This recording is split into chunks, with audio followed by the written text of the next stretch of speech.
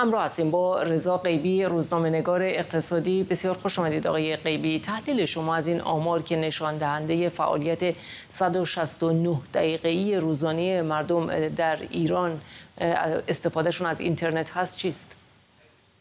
بله به این آمار وقتی نگاه می‌کنیم خب دو تا پیام برای ما داره. یکیش در بعد اجتماعی هست که نشون میده مردم کماکان به دنبال دسترسی به شبکه های اجتماعی هستند و فارغ از اون تأثیری که رو سبک زندگی می‌گذاره بخش عمده ای از اطلاعات و خبرهای روزانه خودشون رو از اون مجراها دارن تهیه می‌کنن. ولی بعد دیگری هم داره این آمار و بحث این عددی که در روز داره صرف میشه نزدیک به سه ساعت در و بخشی از این هم مربوط به فعالیت های مجازی هست فعالیت هایی که بر بستر اینترنت و در شبکه های اجتماعی مخصوصا دارن انجام میشن این فعالیت ها خب و نشون میده علا رغم تمام این بگیر و ببندها و فیلترینگی که صورت گرفته توسط جمهوری اسلامی مخصوصا در یک سال اخیر.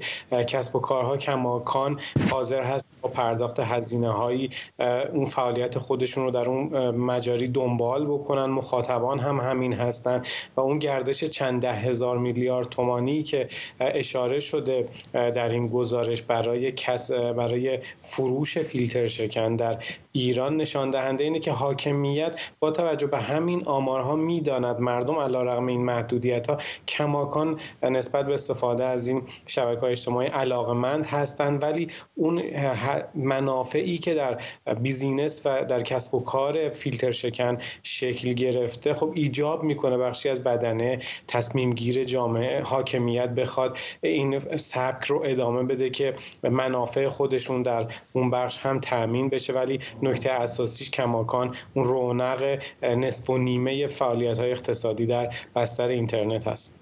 این فیلترینگ گسترده چه تاثیر بر اقتصاد دیجیتال ایران گذاشته؟ و اساسا اگر فیلترینگی در کار نبود چه شرایط رو می‌شد برای اقتصاد این حوزه متصور بود؟ ببینید بعد اینکه این خیزش و این اعتراضات سراسری بعد از کشته شدن محسا امینی شروع شد خب حاکمیت رو به فیلترینگ آورد. همون موقع هم مطرح شد. یک چیزی حدود 11 میلیون شغل و 11 میلیون نفر به طور مستقیم و غیر مستقیم حیات اقتصادیشون مرتبط هست با اینترنت و در از این فضا ارتزاق می‌کنن.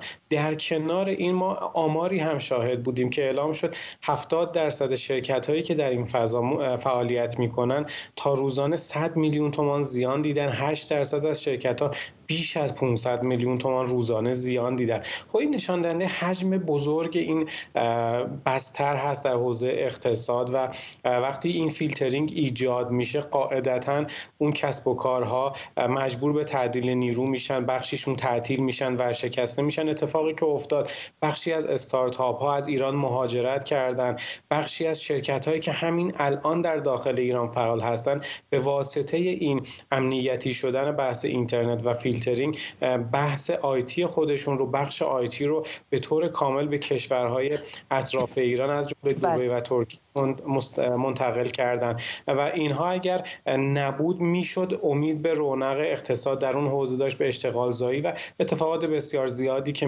می‌شد به شکوفایی اقتصادی منجر بشه. رضا قیبی روزنامه‌نگار اقتصادی بسیار سپاسگزارم از گفتگوتون با ما.